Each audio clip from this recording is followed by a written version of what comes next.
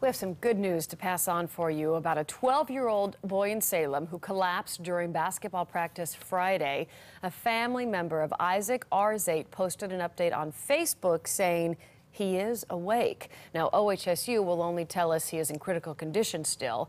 Meantime, we are hearing the frantic 911 call after Isaac collapsed.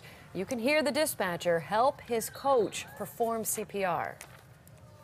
I want you to, to change this up to doing it 30 times, okay? Okay, So 30 and then two breaths. two, two breaths. Give them two breaths. Okay, so Another one. again, it's 30 compressions to every two breaths, okay? Okay, 30. Give them 30. One, two, three, Fast. four, five. Faster. Seven, eight, nine, ten. When paramedics arrived, they used a defibrillator to get Isaac breathing again.